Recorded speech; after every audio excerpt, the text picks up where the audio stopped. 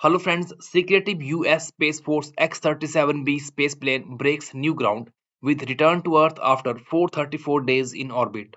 The US Space Force's robotic spaceplane X-37B returned to Earth after spending more than 334 days in orbit on a classified mission. This was the seventh flight for the X-37B spaceplane, officially designated X-37B Orbital Test Vehicle 7 or OTV-7 which landed at the Vandenberg Space Force Base in California on 7 March 2025. Touchdown occurred at 2.22 am EST. During the mission, the Boeing-built X-37B performed a noble aerobraking maneuver that demonstrated its robust maneuver capability. In the aerobraking maneuver, X-37B used the drag caused by Earth's atmosphere to change its orbit more efficiently.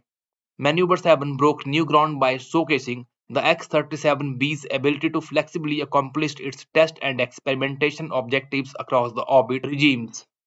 The successful execution of the aerobraking maneuver underscores the U.S. Space Force's commitment to pushing the bounds of noble space operation in the safe and responsible manner.